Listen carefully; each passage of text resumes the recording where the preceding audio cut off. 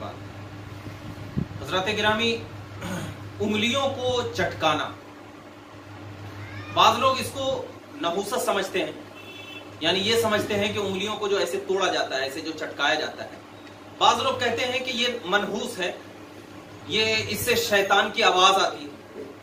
हालाँकि मैं उनसे ये सवाल करना चाहता हूँ कि आपका जो ये कहना, जो लोग ये कहते हैं कि उंगलियों का चटकाना ये नहूसत है, या उनसे जो आवाज़ निकलती है, वो शैतान की आवाज़ होती है तो जो लोग ये कहते हैं कि उनके पास ये दलील मौजूद है कोई जो उंगलियों के चटकाने से नहूसत मनहूसियत पैदा होती है और उंगलियों का चटकाना नहूसत है, ये कोई दलील है?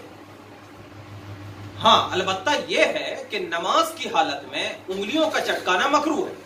नमाज़ की हालत में उंगलियों का चटकाना जो है मकरू है और बाज उलमा ने तो इसको मकरू तहरीमी लिखा है। यानी क्योंकि उंगलियों का चटकाना नमाज़ की हालत में एक खेल कूद है। ये क्या है? एक खेल कूद है और नमाज़ की हालत में खेल कूद वाले काम, लहव लाभ वाले काम करना क्या है? ये मकरू तहरीमी होता है। और मकरू तहरीमी का मतलब होता है कि वो नमाज़ वाजिब लिहाजा हो जाए।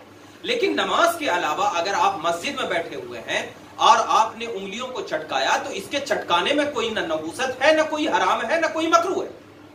न कोई हराम है, न कोई मकरू है। हाँ अलबत्ता।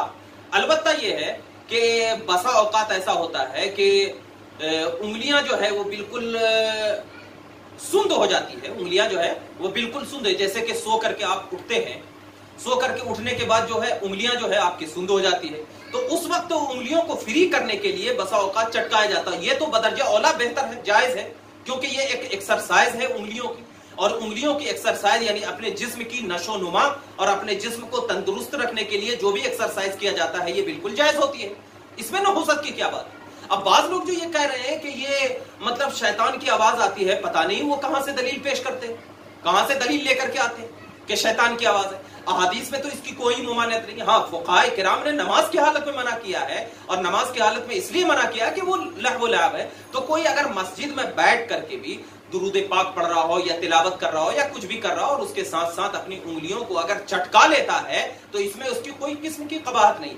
हाँ अगर बैठे बैठे खाली उंगलियों को चटकाता ही रहे, हमेशा चटकाता रहे मतलब उसकी ये एक आदत बना ले, उंगलियों को चटकाता रहे और दूसरे लोग देख करके क्या है, उसको एक बुरा समझे तो इसको इतना कह सकते हैं कि ये खिलाफ आदत होगी। ये खिलाफ आदत होगी, यानी ये क्या है, बेहतर वाली चीज़ नहीं होगी। लेकिन इसको सिरे से, इसको क्या है, सिरे से नहूसत कहना और सिरे से इसको जायज़ कहना ये दुरुस्त नहीं है। तो वह उंगलियों को चटकाना, ये बिल्कुल जायज़ है, कोई नहूसत नहीं है, कोई शैतान की आवाज़ नहीं है, अलबत्ता नमाज़ की हालत में चटकाने से नमाज़ मकरू तहरीमी वाजिबुल